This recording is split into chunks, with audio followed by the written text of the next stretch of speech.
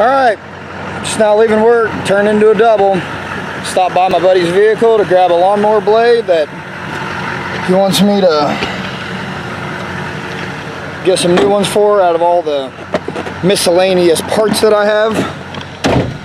So stopped by, grabbed that off his vehicle that he came and brought to me today at work. So we'll get home and try to match up, get him a few lawnmower blades that I hopefully I have some.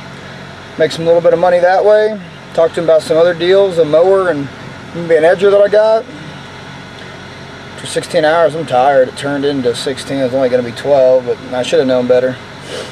All right, time to roll home. Get a couple, few hours of sleep. Back at it. Doesn't stop. Well, frustrated yet again. It's already 12:10. Should have been in bed before 12. Tried to go out to water the, you know, the where I put the grass seed down at, because you know that has to stay moist until it um, ferments, you know, and starts growing. So I went out to put the big sprayer that, you know, goes like that. And of course, had the thing five, six years. Go out there to adjust it and the plastic breaks. Awesome. Just great. Because I don't have the time to messing with it. So I had to spend 30 minutes watering it all by hand because I'm not going to let, you know, $200 worth of grass seed get ruined. So that's just awesome. And then I get a phone call. Just being a business owner, it's always dealing with shit and some issues and some problems. It's sometimes it's really great, especially when you've been up 24 plus hours and just get done working a shit ton and you're doing everything you can for everybody else and building a business and people still find things to complain about every single day.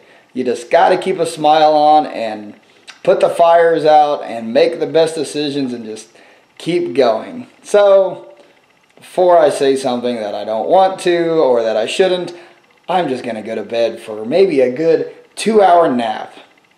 Good night. Alright, decided to sleep till 5 o'clock, so I at least got some good sleep. Been crazy busy.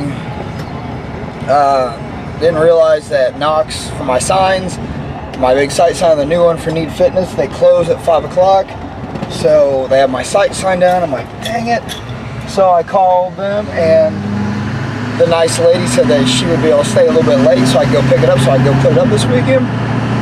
So I'm jetting over that way. Alright.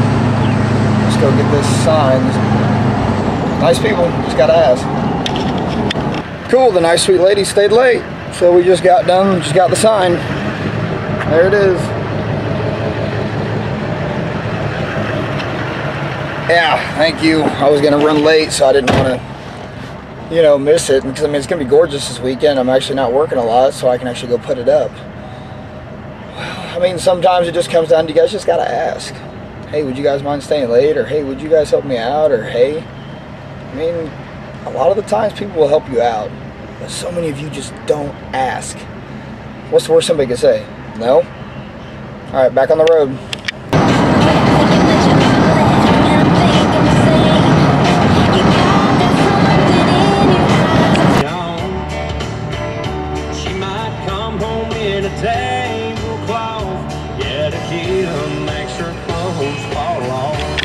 Cool. Finally home. 920. And look what we got. Yeah. Another new sprayer. Yay. Since the other one broke. Haven't used it in three years and that's Murphy's Law, of course, when you have things that you need to get done and do and in a rush, then things will break and mess up. But like I say, just how you react to it. Just go get it done. Adapt and overcome. So I'm actually probably going to head out now and do a little bit of watering tonight. You know, it's not the best to do it at nighttime, but I'm not really going to get to do much tomorrow. So try to get it moist. Can't let that grass seed fail and rot and die and before it even germinates. Alright, work at 11. Just pulled into work in parking lot.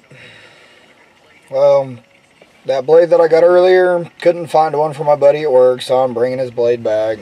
Set it as toolbox. And of course, couldn't leave some mowers and stuff alone, so I went out there and pulled for like 30 minutes and couldn't get nothing going and just got myself aggravated and pissed off and tired as shit. So, another hoarse voice again. I just got to sell the stuff and get rid of it because all it's doing is killing my blood pressure.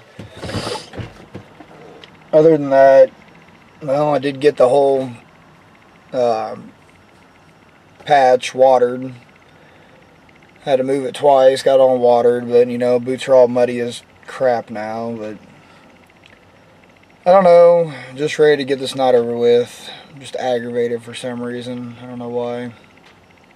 Frustrated, right? Just because I'm tired. Got a busy day tomorrow, so let's go knock this out.